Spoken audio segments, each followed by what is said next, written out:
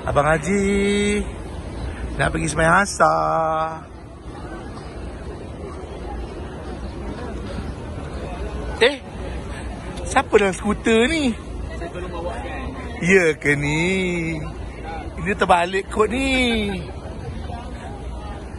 Senang.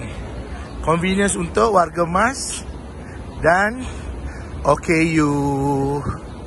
So bagi mereka yang ada nak buat parents yang tak larat jalan kan J Ibrahim Al Islam menyediakan memberi perkhidmatan e-scooter. Kita ada various e-scooter macam ni uh, untuk memudahkan uh, para jemaah warga emas dan OKU. Okey. Assalamualaikum.